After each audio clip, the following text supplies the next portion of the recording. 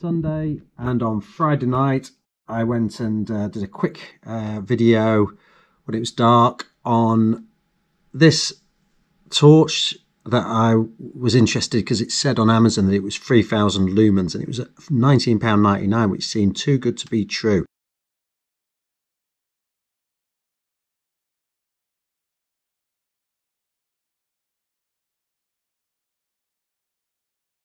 So I thought I'd test it out and uh, see how it compared to our 800 lumens torch and our real 3000 lumens bike light here. This is what we found out. So here's our 800 lumens torch. It's on maximum power. It's reaching the end tree and flood of light to the right and left. Just see there. Uh, that's 800 lumens. Now this is the 3000 lumens Amazon special at £19.99.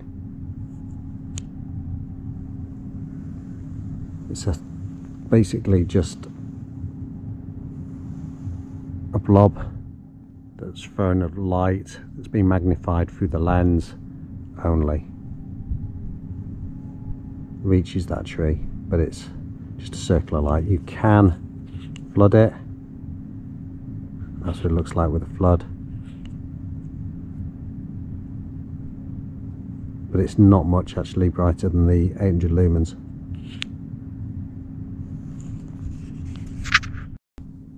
Eight hundred lumens again.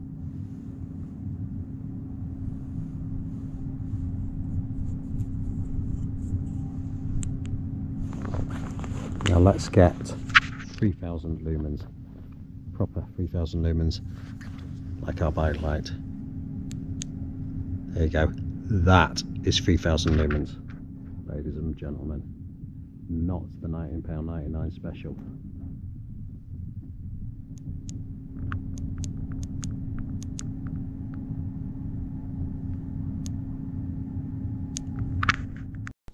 Now you can tell with the Amazon 3000 lumens that they say it is, which obviously it isn't, that the head has got a magnified, that magnifies that LED that they're using. You can see it's like a, the domed there, um, on there, whereas our standard Cree torch is just a real clean LED, no dome, just a glass front part and with the lumens just not being magnified at all.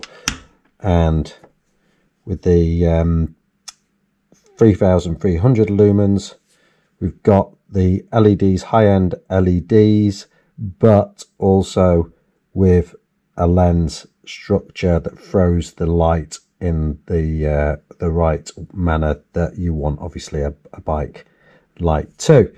So are these 3000 lumens the Amazon specials? No.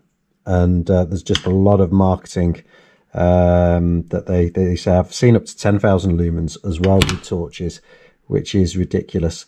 But uh, that's um, that's the Amazon sellers for you, unfortunately, which are mainly in China, and that's what they they they do. They they put basically false lumens on there.